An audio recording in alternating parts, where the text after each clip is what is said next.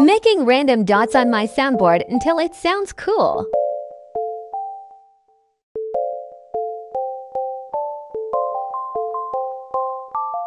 And it's done.